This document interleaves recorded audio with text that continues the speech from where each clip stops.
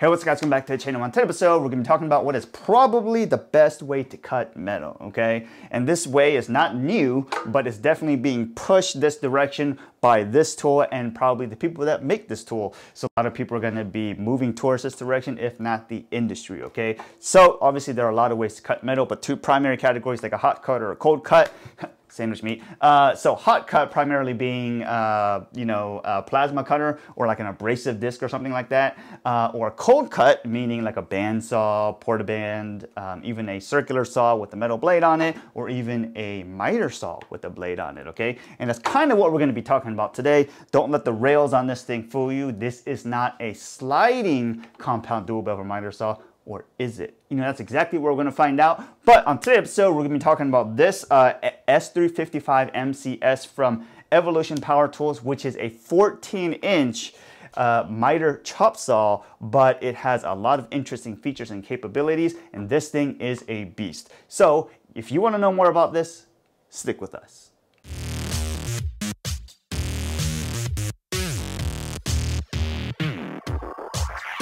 So this is the Evolution S355 MCS mitering chop saw with a 14 inch cutting capacity. If you buy it as a kit, you will get a mild steel blade built for heavy duty cutting, but you can also buy other blades such as aluminum, non-ferrous metals, and all kinds of other stuff. Let's talk about the quick specs. This has a 15 amp motor and the no load speed capacity is 1450 RPMs. The cable or the power cord that comes with it is about 10 feet.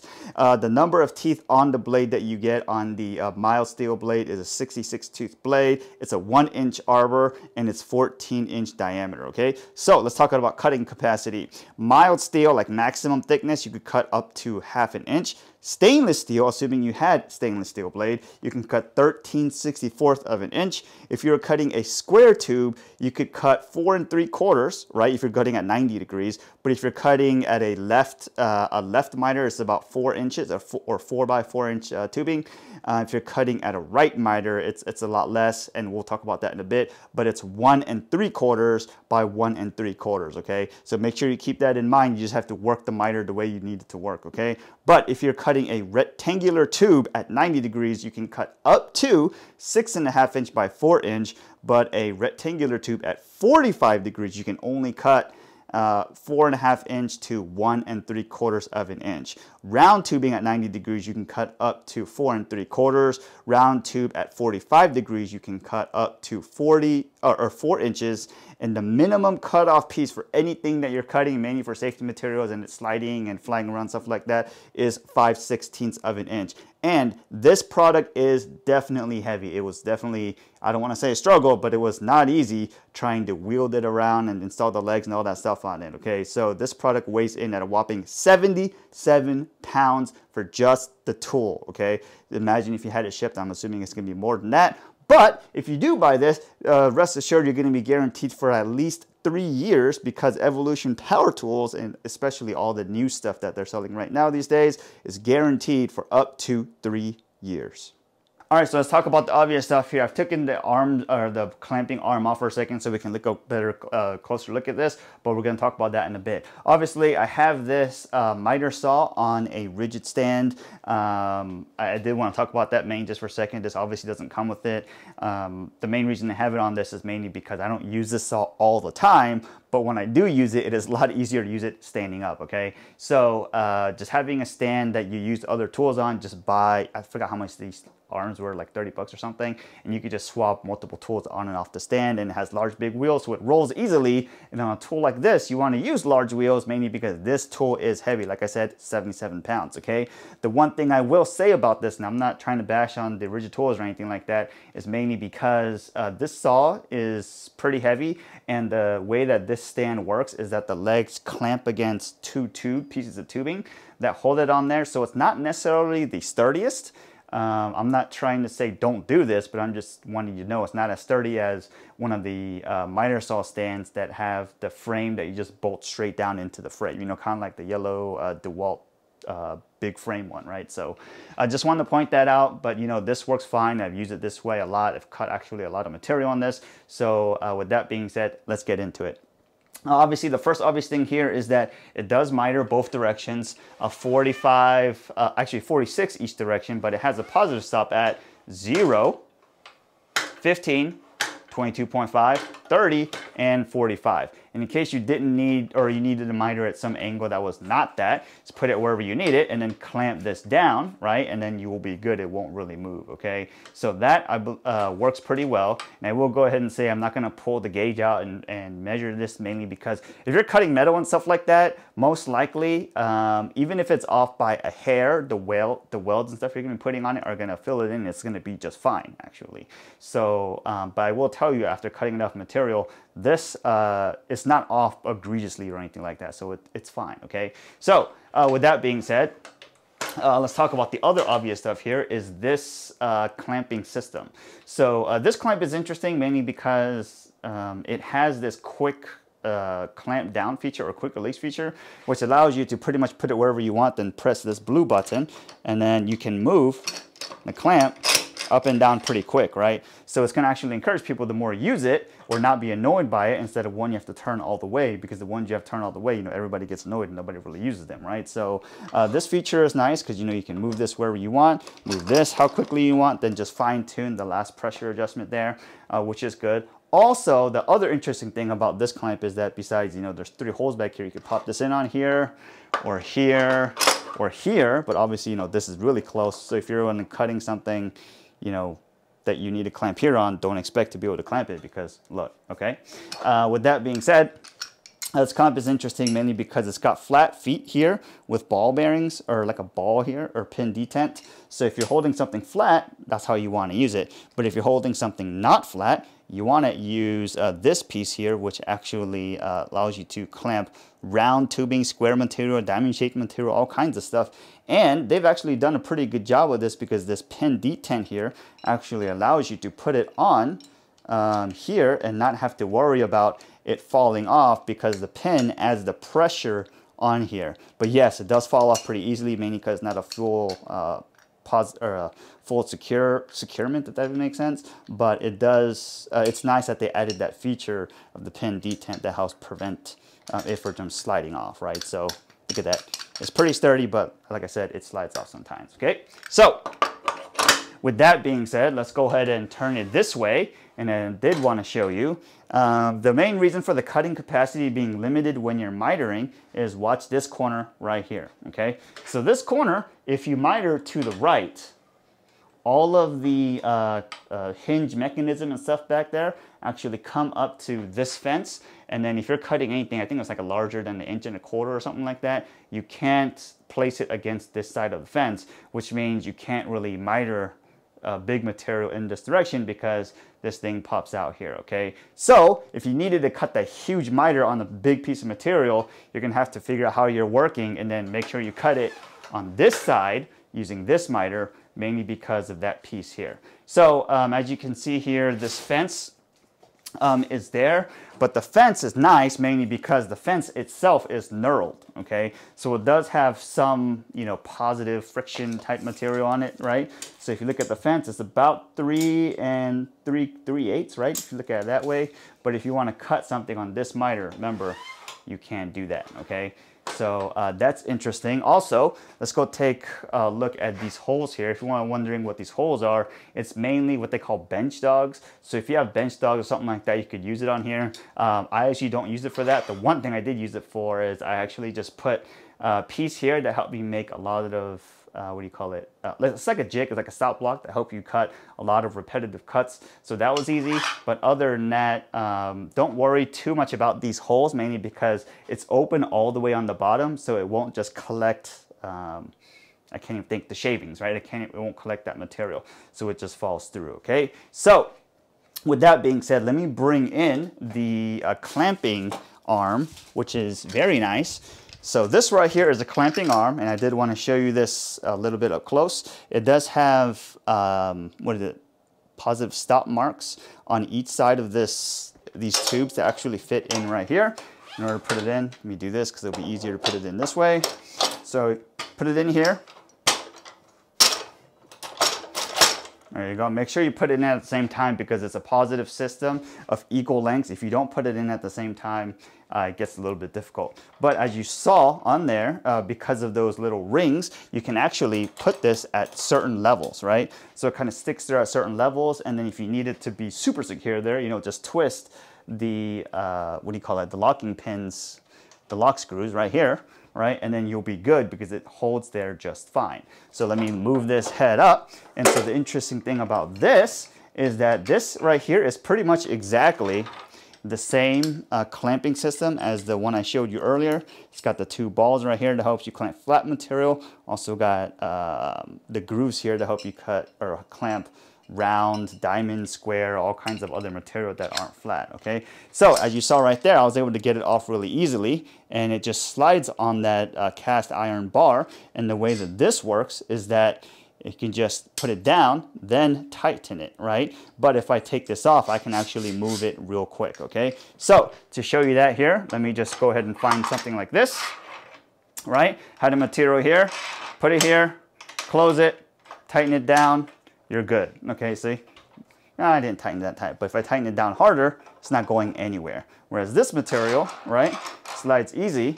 What really helps people use the clamp, I know a lot of people don't like using clamps, but it's a pretty, uh, clamping is really important mainly because you don't want to be things flying everywhere. It helps keep things secure. So if you hold it here, you know, you just got to tighten it down and it won't go anywhere. You can't pull it up because it's under uh, what is it, compression, because you're compressing the material against the fence. Uh, but if you want to pull it up, right, you just have to loosen it a little bit and then you can pull it up, slide it out. So clamping it actually works really quick, okay? So just to show you some of that stuff in action, let me go ahead and just pull this uh, piece of black pipe here, right? And with the black pipe, because of the grooves, I can just clamp it right there, right, like so. Actually, you probably don't want to do that mainly because it's not going to be flat on the, on the bottom here. So one thing you could do is you could flip it around and then get the profile this way, which helps you hold against this bottom part to uh, the inside corner of the fence, right? So if you do this, right, actually put this down, hold it there, and you see how this clamp raises up, so it's pressing against the corner of that fence. You can just turn this around, do that, close, press against down the corner of the fence. And look at this. If you put enough force on it, this isn't going anywhere. The entire uh, stand is shaking, okay? So in case you're cutting off smaller pieces and stuff and you don't want to fly around, you can use this clamp here. Uh, most likely, I don't always use this clamp here and that's probably a bad habit. Uh, mainly just because the usually when I'm cutting something like this, it's stable enough that I don't have to do this because it's clamped on both sides. And depending on what you're doing and how much you're cutting, I would definitely recommend um, clamping on both sides just in case you know something goes flying because you don't want that. Flying metal, extremely dangerous, okay? So while we're here, let me show you some other material that you can really cut. So if you wanted to cut something like this, right, you could put it up, hold it flat against this corner, right? And you don't have to use these uh, uh, clamping jigs, but you can, mainly because this part flat here is still flat, right? So I usually don't like to take these off mainly because I'll just end up losing them, right? Uh, some people will say, oh, take that off and just use the flat part of the clamp feet. And that's probably the best thing, but you know, I'm just not gonna do that mainly because I just don't want to feel like losing these things. So you just clamp this down here, right? And you're pretty good to go. Uh, I personally wouldn't cut it like this, mainly because once you cut past this, it's fine. Cutting up to here is going to be fine, but cutting down here, you're going to be cutting like a longer piece of metal. So on something like this, you know, depending on how you want to interpret your instructions, um, they probably recommend you either cutting it like this, right, at this corner, so that way it's cutting all the way through and anytime it's the blade is cutting a material, it's a small piece of material at a time, which one reduces the heat on the on the blade teeth, and also you're not cutting downwards into uh, where the teeth are digging in and then have to dig back out. That actually uh, really reduces the lifespan of the teeth. So if you want to hold it this way, which is probably the best way, the clamps actually work the best to hold this because you can just hold it here, right? Put this in, hold it this way, right? Put this down, hold it this way, and then you're good to go. So that way, cutting material like that is probably the best way to cut a piece of angle iron Um, and I think that's probably what they recommend in the book. So otherwise, uh, let me, that's enough with the clamping material because you know that's pretty uh, straightforward. Let's go ahead and talk about the other pieces going on with this saw. All right, so moving on to the rest of the saw, as you can see here, this is just a pin to hold the chop saw part down. So let me bring the chop saw down here, push this in. As you can see right here, this is a brushed motor. You're gonna have to replace this every once in a while, but you know, uh, if, you're, if you're doing a lot of production work, you probably will, but if you're not doing too much production work, you're gonna be fine. This right here is a shield, so metal shavings don't come back flying at you in case you need to lock the arbor and um, change the blade. This is where that arbor lock is. But other than that, on this side of the saw, there's not too much other stuff going on. I just wanted to point out, remember to remember that, okay? All right, so this is what the uh, this the left side of the saw looks like. You know, there's really nothing too special uh, going on with this side, except for this is probably where the head hold down mechanism is. And this spring is, you know, it's pretty sturdy. Uh, hasn't had seen a ton of use, but I'm sure it'll wear out eventually or wear down eventually to make it a little bit easier. Uh, I'll go around to the back side before we go ahead and talk about the rails. All right, so let's go ahead and talk about these rails here. So as you can see here, it does have a rail system that does move. We'll go ahead and show you this side when you get back to it, right? But it does move, allows you to move the head of the saw. There's three positive stops, one right here, another one right there, right? And another one right here. And what that really helps is the part where the blade comes down against the fence, there is a positive way or the best way to cut uh, material with the blade and there's a piece of paper that comes in the instruction manual or with the saw that tells you exactly where to put it.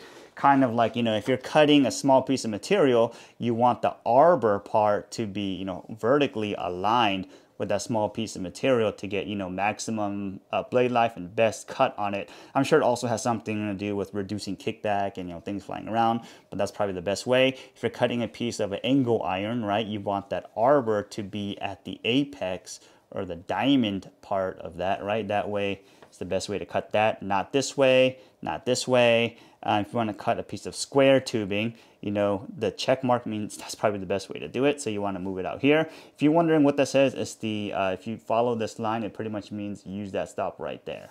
Okay. But if you're cutting a uh, piece of square tubing, you want to put it up on an angle and put it like so, right? That's pretty much what that means. And that's what helps you get larger capacities uh, cut with the saw. It is a 14 inch uh, cutting wheel, but in order to maximize and get the best cut safely, that is what it's for. Piece on the back here, um, it, it, serves two purposes. And if you're, somebody could argue, if you're really using it on a stand, you don't need it, but I like to leave it there because the secondary purpose. So the primary purpose of this is one is to help it to not pull all the way through and push it like it's a stop block, right?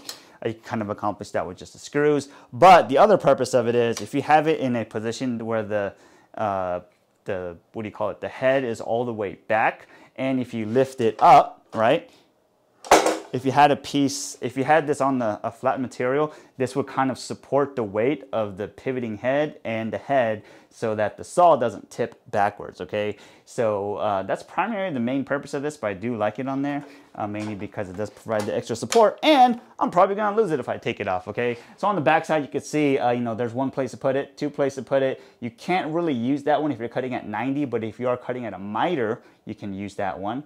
Um, there are two spots on this, actually no, there's only one spot on, or no, there are two spots on this side too.